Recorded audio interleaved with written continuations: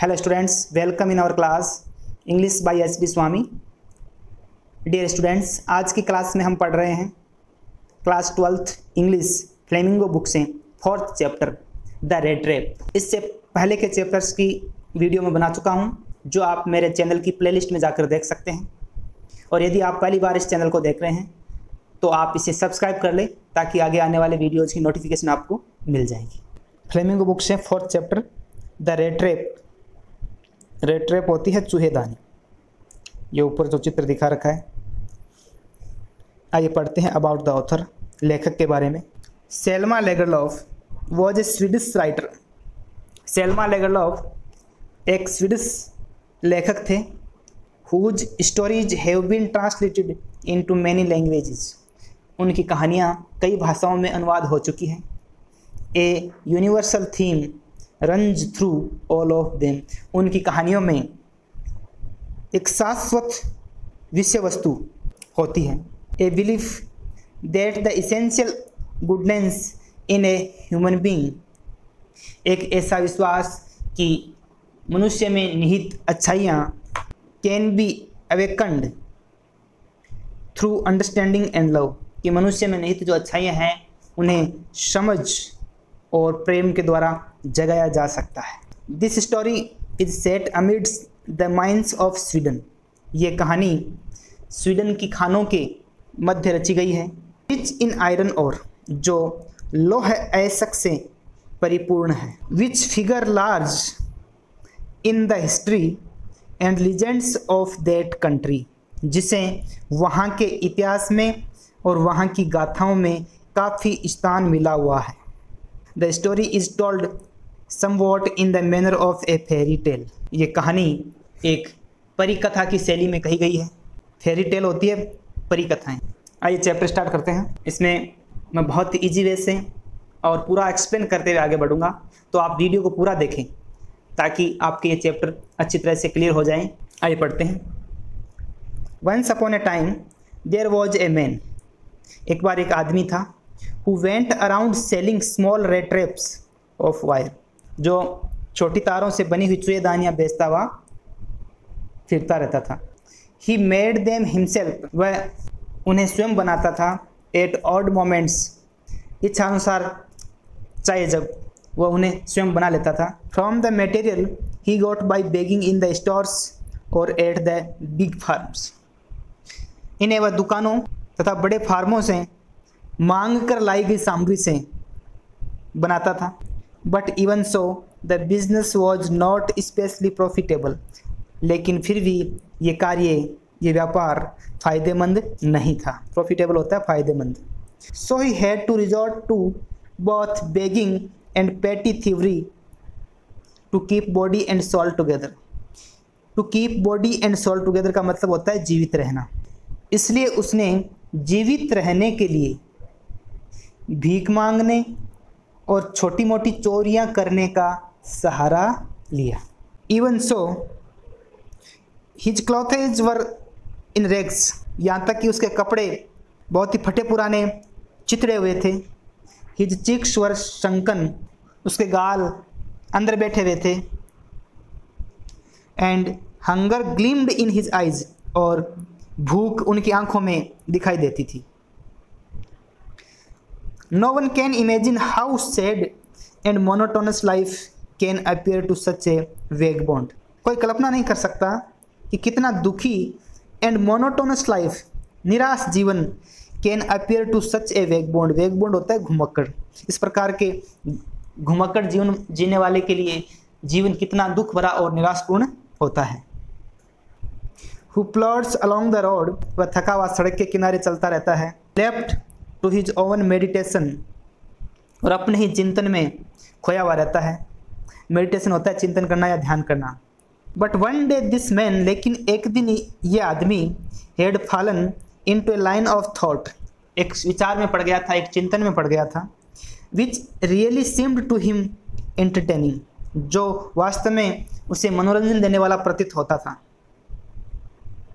He had naturally been thinking of his rat traps स्वाभाविक रूप से वह अपनी चुएदानियों के बारे में सोच रहा था। When suddenly he was struck by the idea जब अचानक उसके दिमाग में एक विचार आया दैट की the whole world about him कि सारा संसार जो उसके चारों ओर है द होल वर्ल्ड संपूर्ण संसार विथ इट्स लैंड जिसमें सारी ज़मीन है एंड सीज समुद्र है इट्स सिटीज़ शहर है एंड विलेजेस गाँव हैं was nothing but a big rat trap ये एक बड़ी चूहेदानी के सिवाय कुछ नहीं है। It had never existed for any other purpose than to set baits for people ये दुनिया लोगों को ललचाने के सिवाय किसी अन्य उद्देश्य के लिए अस्तित्व में नहीं है। It offered riches and joys ये दुनिया लोगों को ऑफ़र करती है, प्रस्तुत करती है। धन दौलत रिचेज होता है, धन दौलत। जॉयज आनंद शेल्टर शरण देना एंड फ़ूड भोजन हीट गर्माहट क्लॉथिंग कपड़े exactly as the rattrap offered cheese and pork ठीक उसी तरह से, जिस प्रकार से एक चूहेदानी चूहे को चीज़ पनीर और पोर्क प्रस्तुत करती है। पोर्क होता है स्वर का मांस। And as soon as anyone जो ही कोई लेट हिमसेल्फ अपने आप को अनुमति देता है be tempted to touch the bait अपने आप को ललचाने के लिए इस लालच को सुने की अनुमति देता है it closed in on him तो वह व्यक्ति इस दुनिया रूपी चुएदानी में बंद हो जाता है। And then everything came to an end और फिर सब कुछ समाप्त हो जाता था। The world had of course never been very kind to him ये दुनिया, ये संसार उसके लिए कभी भी दयालु नहीं रही थी। So it gave him unwanted joy और ये उसे स्वाभाविक आनंद देता था। To think ill of it in this way और इस तरीके से इस दुनिया के बारे में बुरा सोचकर इल होता है बुरा। बुरा सोचकर उसे स्वाभाविक आनंद प्राप्त होता था। It became a cherished pastime of which यह उसके लिए एक प्रिय मनोरंजन बन गया था। During many dreary ploddings dreary होती है नीरस। प्लोडिंग्स होती है पदयात्राएँ।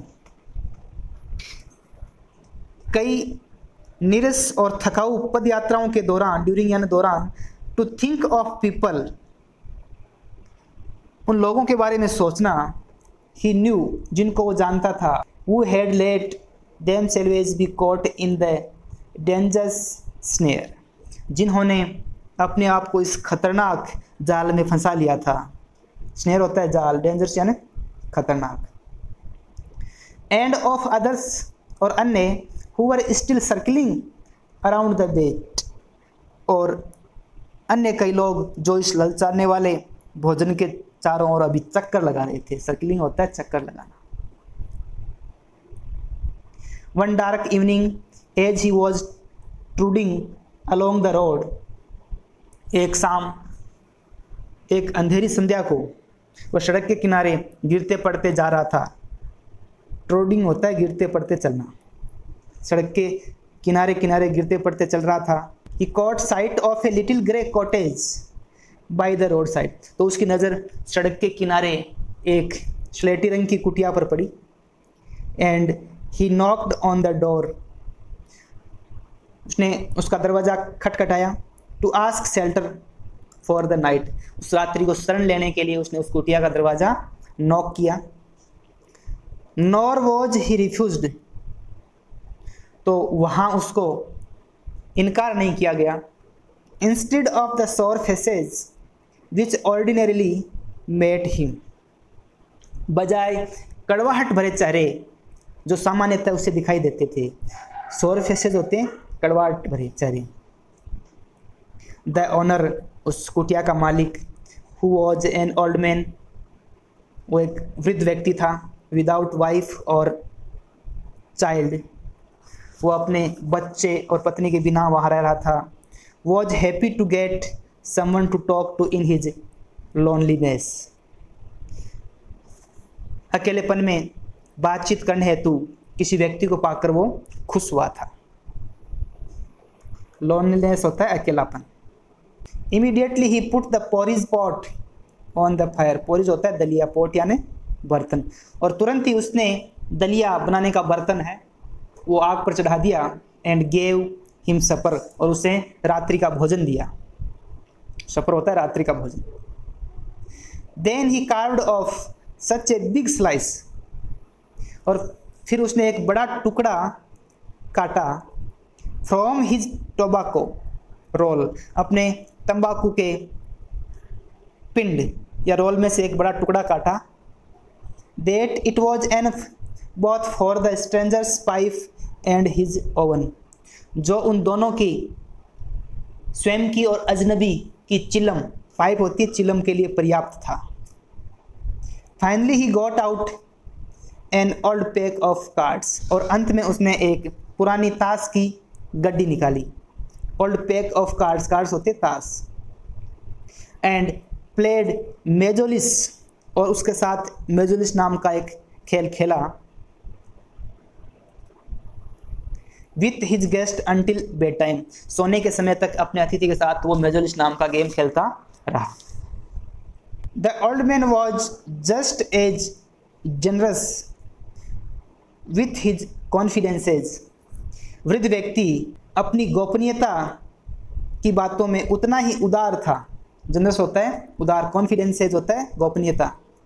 एज विथ हिज पोरीज जितना वो दलिए के साथ था एंड टोबाको और अपनी तंबाकू के साथ था। मतलब वो वृद्ध व्यक्ति जितना तंबाकू और दलिए के साथ उदार था, उतना ही अपनी गोपनीयता की जो बातें थी, वो बताने के लिए भी उसने उसके साथ उदारता दिखाई। The guest was informed at once that in his days of prosperity उसने अपने अतिथि को बताया कि एक बार समृद्धि के दिनों में प्रोस्पेरिटी होती है, समृद्धि। हिज होस्ट उसका मेज़बान हेड बीन ए क्रॉप्टर एक छोटा किसान था। एट रेम्स जो आयन वर्कर्स जो रेम्स जो लोहे का कारखाना था, उसमें काम करता था and he worked on the land और अपनी ज़मीन पर भी काम करता था। Now that he was no longer able to do day labour अब वह दिन का परिश्रम करने में सक्षम नहीं है, समर्थ नहीं है। It was his cow which supported him अब तो उसकी गाय ही उसका सहारा थी।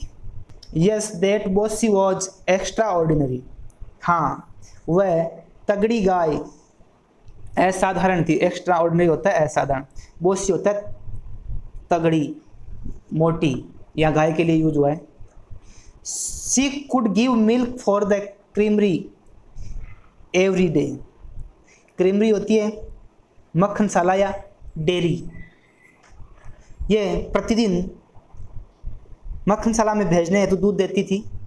And last month he had received all of thirty kronor in payment और पिछले महीने दूध से उन्हें तीस क्रोनर की रकम प्राप्त हुई थी। The stranger must have seemed incredulous incredulous होता है अविश्वसनीय। उस अजनबी को यह बात अवश्य ही अविश्वसनीय प्रतीत हुई थी। For the old man got up क्योंकि वो वृद्ध व्यक्ति खड़ा हुआ and went to the window और खिड़की तक गया। Took down a leather pouch और एक चमड़े की थैली उतारी which hung on a nail in the very window frame जो उस खिड़की की फ्रेम से लगी खुंटी नेल होती है, खुंटी में टंगी हुई थी हंग होता है, लटकना या टांगना। And picked out three wrinkled ten kronor bills और उस थैली में से उसने तीन सलवटें पड़े हुए दस दस के क्रोनर के नोट निकाले। रिंकल्ड होता है, सलवटें पड़े हुए। These he held up before the eyes of his guest इन नोटों को उसने मेहमान की आँखों के सामने पकड़े रखा। नोडिंग नोविंगली जानबूझ कर सिर हिलाते हुए and then stuffed them back into the pouch और फिर उसने उन नोटों को वापस थैली में ठूंस दिया। The next day both man got up in good season अगले दिन दोनों व्यक्ति सही समय पर उठ गए। इन गुड सीज़न होता है सही समय पर। The crofter was in a hurry to milk his cow किसान गाय का दूध निकालने की जल्दी में था। हरी होता है जल्दी में। And the other man probably thought और उस अन्य व्यक्ति ने, अजनबी ने संभवतः सोचा he should not stay in bed उसे भी अब बिस्तर पर नहीं रहना चाहिए। When the head of the house had gotten up कि जब घर का मालिक ही उठ गया तो अब हमें भी, मुझे भी बिस्तर पर नहीं रहना चाहिए। They left the cottage at the same time वे दोनों झोंपड़ी से एक ही समय पर रवाना हुए। The crofter lock the door and put the key in his pocket उसके सामने झोंपड़ी के दरवाजे पर ताला लगाया और चाबी अपने पॉकेट में रख ली। The man with the rattraps said goodbye and thank you दानी वाले व्यक्ति ने अलविदा कहा गुड बाय कहा एंड थैंक यू और धन्यवाद कहा and thereupon each went his own way और उसके बाद फिर प्रत्येक अपने अपने रास्ते चले गए। But half an hour later लेकिन आधा घंटे बाद द रेट्रे पेडर चुएदानी बेचने वाला, फेरी वाला पेडल होता है, फेरी वाला stood again before the door पुनः दरवाजे पर आ खड़ा हुआ। He did not try to get in उसने अंदर घुसने की कोशिश नहीं की। हाउ एवर हालाँकि he only went up to the window वो केवल खिड़की तक गया। स्मैश्ड ए पेन पेन होता है शीशा। स्मैश्ड होता है तोड़ना। उसने खिड़की का शीशा तोड़ा। स्टक इन हिज हैंड अपना हाथ अंदर डाला। And got hold the pouch with the thirty kronor और तीस क्रोनर वाली थैली को अपने हाथ में पकड़ लिया। He took the money and thrust it into his own pocket उसने धन निकाल लिया और इसे अपनी जेब में ठूस लिया। थ्रस्ट होता है ठूंसना। Then he hung the leather pouch very carefully back in its place and went away और फिर उसने चमड़े की थैली को बहुत ही सावधानी से केयरफुली है ना, सावधानी से वापस उसी स्थान पर लटका दिया एंड वेंट अवे और वहाँ से चला गया। As he walked along with the money in his pocket he felt quite pleased with his smartness जब वो अपनी जेब में पैसा लेकर चला ही फेल्ट क्वाइट प्लीज़ तो वह बहुत प्रसन्न हुआ विथ हिज स्मार्टनेस अपने चातुर्य पर, अपने चतुराई पर। ही रियलाइज़ उसने महसूस किया ऑफ़ कोर्स वास्तव में that at first he did not continue on the public highway कि शुरू में तो वह सार्वजनिक रास्ते पर चलने का साहस नहीं कर सकता but must turn off the road उसे इस सड़क से हटना होगा इन टू द वुड्स और जंगल में से होकर जाना होगा। During the first hours this caused him no difficulty शुरू के घंटे में तो उसे कोई परेशानी नहीं हुई। Later in the day it became worse लेकिन दिन की बाद की स्थिति उसके लिए बिगड़ गई वर्ष हो गई, खराब हो गई। फॉर क्योंकि it was a big and confusing forest क्योंकि एक बहुत ही बड़ा और कन्फ्यूज़न करने वाला जंगल था which he had gotten into जिसमें वह प्रवेश कर गया था। He tried to be sure to walk in a definite direction उसने आश्वस्त होने के लिए एक डेफिनिट डायरेक्शन एक निश्चित दिशा में चलने का प्रयास किया, कोशिश की। But the paths twisted back and forth so strangely किंतु रास्ता पीछे एवं आगे की ओर अजीब प्रकार से घूम रहा था। He walked and walked without coming to the end of the wood वह चलता रहा चलता रहा, लेकिन उस जंगल का कोई अंत नहीं आया। एंड फाइनली ही रियलाइज़ और अंत में उसने महसूस किया that he had only been walking around in the same part of the forest और अंत में वह जान गया था कि वह जंगल के एक हिस्से में चक्कर लगा रहा था। All at once he recalled his thoughts और तुरंत ही उसे अपना वो विचार याद आया अबाउट द वर्ल्ड संसार के बारे में एंड द रेड ट्रेप और चुएदानी के बारे में। Now his own turn had come कि अब उसकी बारी आ गई थी इस चुएदानी में फंसने की। He had let himself be fooled by a bait and had been caught उसने स्वयं को एक लालच के द्वारा मूर्ख बना लिया था एंड हैड बीन कॉट और इसमें फंस गया था। द होल फॉरेस्ट संपूर्ण जंगल with its trunks and branches अपनी, अपने तनों और शाखाओं के द्वारा its thickets and fallen logs इसके मोटे और गिरे हुए लट्ठों के द्वारा क्लोज्ड इन अपॉन हिम उसमें अपने आप को बंद कर चुका था। एन इम्पेनिट्रेबल प्रिजन एक अभेद्य जेल के समान जिसे भेदा नहीं जा सके, इस प्रकार की जेल में वो फंस चुका था। From which he could never escape जिससे वह कभी बचकर नहीं जा सकता था। It was late in December ये दिसंबर का आखिरी भाग था। Darkness was already descending over the forest अंधेरा अब पहले से ही जंगल पर छाने लगा था। दिस इंक्रीज द डेंजर इसने खतरे को और बढ़ा दिया था। And increased also his gloom और उसकी उदासी को भी बढ़ा दिया था। एंड डिस्पेयर और निराशा को भी। फाइनली अंत में ही सा नो वे आउट और अंत में उसे कोई रास्ता नहीं दिखाई दिया।